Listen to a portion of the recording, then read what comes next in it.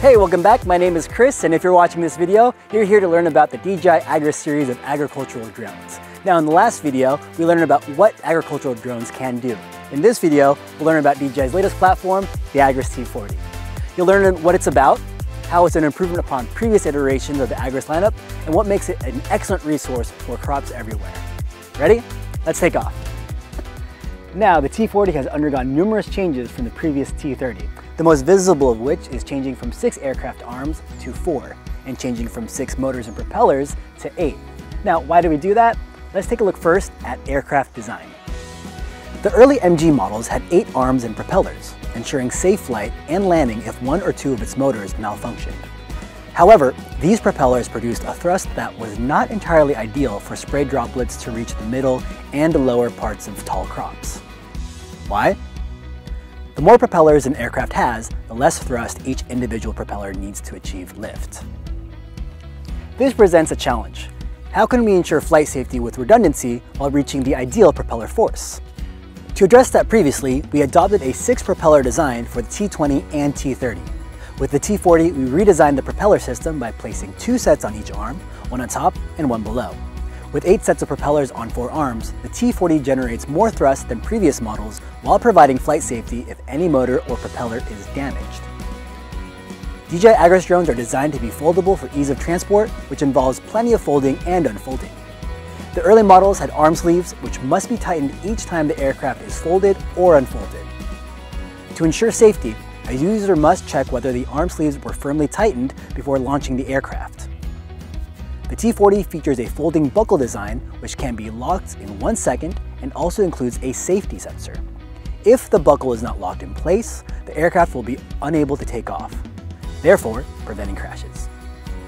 Now let's talk about the spraying system, which perhaps has the most changes. In previous models, they use a pressurized spraying system which uses a pump to generate pressure. The fluid is then pushed and atomized through narrow holes in a sprinkler.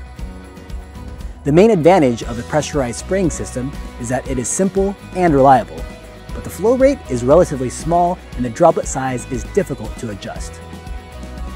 The T40 uses a double layer centrifugal spraying system which increases the flow rate to an impressive 12 liters per minute, 120% more than the T30.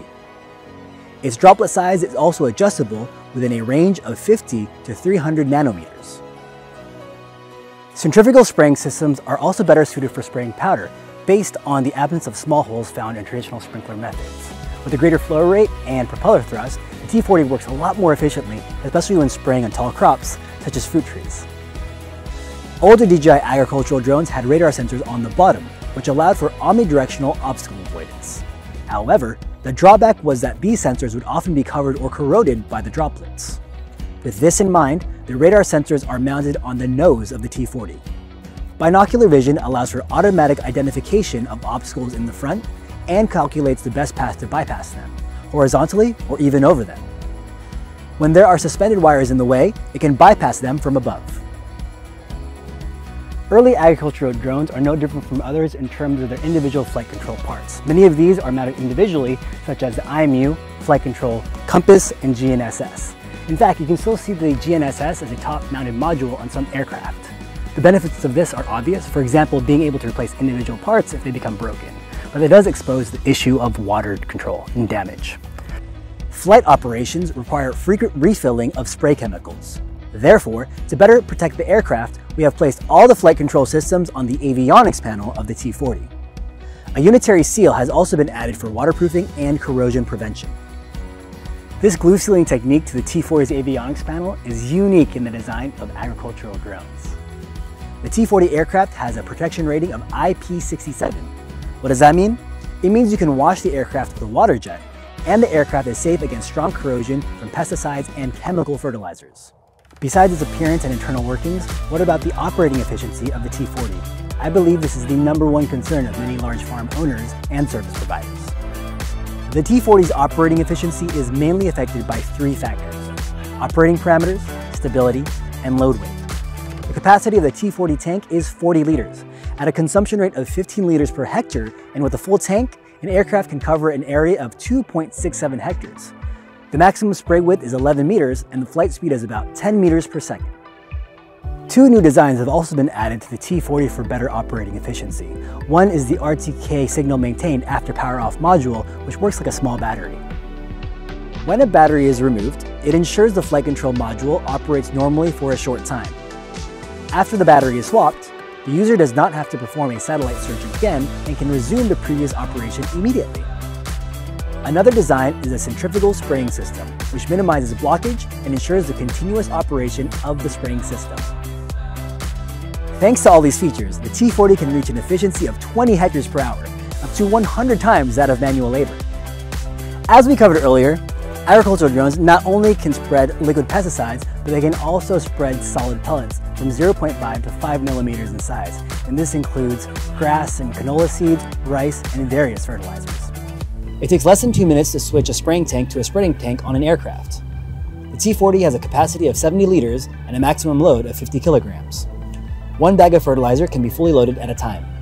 After setting the spreading parameters, we can launch the aircraft to perform an autonomous mission, where it can spread 1.5 tons of fertilizers in just an hour. An aircraft operates less efficiently on orchards with steeper terrain than on other crops, because of the former's higher consumption rate, which typically reaches 150 liters per hectare. With a greater load capacity and flow rate, how productive is the T40? After seven hours of operation, our aircraft has sprayed an area of 20 hectares at the orchard. Now it might not sound like an impressive number compared to working on normal crops, but to produce the same coverage, a team of 30 people performing manual spraying would take 20 hours. As a plus, the T40 also utilizes pesticides more efficiently than workers in the field, preventing waste. Crop growth is affected by various factors such as sunlight exposure and soil quality. Even with the same field, the growth of crops can vary. So, how can we apply pesticides or fertilizers precisely? First, use the multispectral drone to survey and map the area, and then have the data analyzed through DJI Agras Intelligent Cloud, producing a prescription map.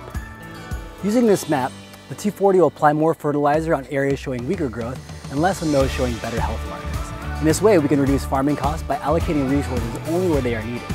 So the prescription map is a great tool for farmers when deciding on pesticide usage, identifying pesticide and crop diseases, and even estimating yield. Modern agriculture has advanced from cruder and more traditional farming methods to those oriented to precision. New agricultural production tools are not only versatile, but also more efficient, intelligent, and environmentally friendly. Through precision spraying and spreading, DJI Agras drones have treated a cumulative 200 million hectares of land reduce pesticide usage by 3,000 tons, reduce water usage by 87 million tons, which is the annual water intake of 150 million people, and reduce carbon emissions by 10.29 million tons, equivalent to planting 630 million trees. This is made possible by all the drivers, farmers, engineers, and partners who have worked together to bring a new lease on life to one of the oldest professions on Earth.